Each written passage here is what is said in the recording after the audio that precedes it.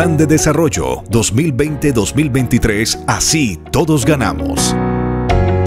Vamos a construir un plan de desarrollo para todos. Te invitamos del 10 de febrero al 23 de febrero a participar en tu comuna o corregimiento de estos encuentros del alcalde con la ciudadanía. Arauca merece saber que la amamos. Alcaldía de Arauca. Así todos ganamos.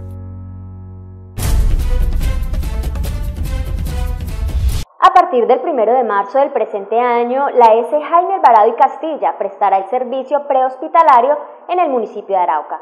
Volverá el servicio de ambulancia para atender los accidentes de tránsito y otras emergencias.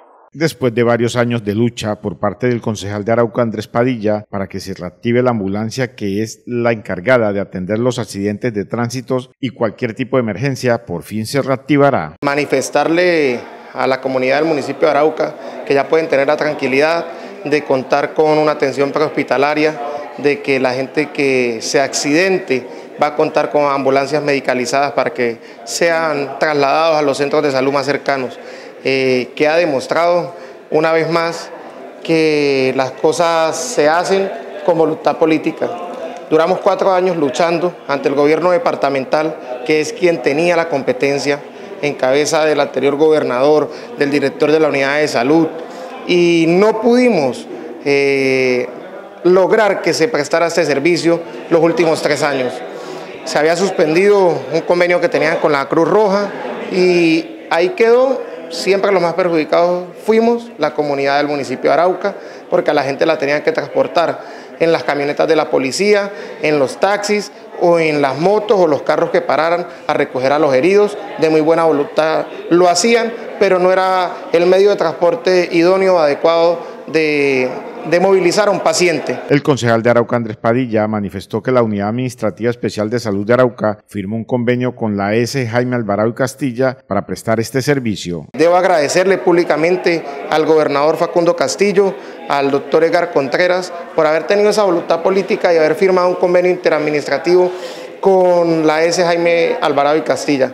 Eh, acá queda claro que pues no hay rivalidades políticas, de que los recursos los va a colocar el departamento de Arauca y se van a ejecutar por medio del municipio, pero a fin de cuentas para fortalecer la salud de los araucanos y para darle un bienestar a todos los habitantes del municipio de Arauca. El líder político aseguró que se había oficiado a la Superintendencia de Salud que en Arauca no se estaría prestando este servicio. Nosotros habíamos oficiado a la Superintendencia, habíamos oficiado al Ministerio de Salud, a la Gobernación, a la Unidad Administrativa Especial de Salud de Arauca, a la S municipal, a la S departamental. Y pues había quedado claro que esta competencia era del departamento de Arauca en cabeza de la unidad de salud, eh, toda vez que la, el municipio de Arauca no se encuentra certificado en materia de salud, no puede prestar este servicio todavía y por eso recae la responsabilidad en cabeza del señor gobernador y en cabeza de la Unidad Administrativa Especial de Salud de Arauca. La ambulancia que se encontraba en comodato con la Cruz Roja en el municipio de Arauca pasará ahora a la S. Jaime Alvarado y Castilla. Esa ambulancia que es del departamento eh, pasará a la S. Jaime Alvarado y Castilla para que la S. Jaime Alvarado y Castilla preste este servicio a toda la comunidad del municipio de Arauca. Pues Vemos que el Hospital San Vicente no puede prestar ese servicio porque las ambulancias que tiene el Hospital San Vicente son para el traslado de los pacientes fuera del departamento de Arauca o para otros centros eh, hospitalarios fuera del municipio de Arauca. Eh, la S. Moreno y Clavijo no podía prestar ese servicio tampoco porque las ambulancias que tenía también era para el transporte departamental de sus pacientes y pues Vemos que en buena hora el gobernador Facundo Castillo ha decidido firmar este convenio con la S. Jaime Alvarado y Castilla. A partir del mes de marzo iniciará la prestación del servicio de ambulancia para atender el servicio prehospitalaria en el municipio capital.